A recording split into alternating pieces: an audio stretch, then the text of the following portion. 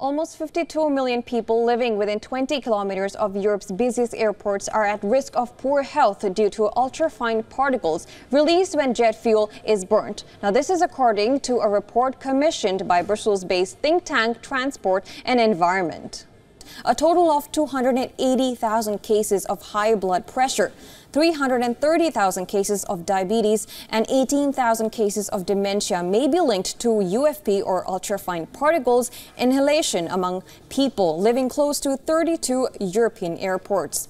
Now, the tiny particles, which are a thousand times smaller than a human hair, penetrate deep into the body due to their size, reaching internal organs. The reports say the release of UFPs varies according to the composition of jet fuels, which can have different levels of aromatic compounds and sulfur.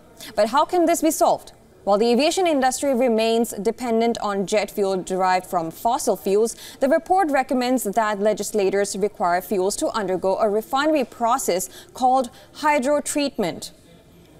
This method uses hydrogen gas to remove impurities and is already used for road and maritime fuels. The process can reduce sulfur and aromatics at an estimated cost of less than $0.054 a liter and uses less than 10 kilograms of hydrogen for a ton of jet fuel. The report says that both the World Health Organization and the EU recognize the effects of UFPs on health.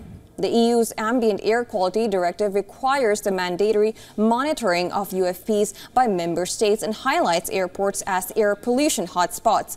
However, neither the WHO or the AAQD places limits on the concentration of UFPs that aviation companies can emit.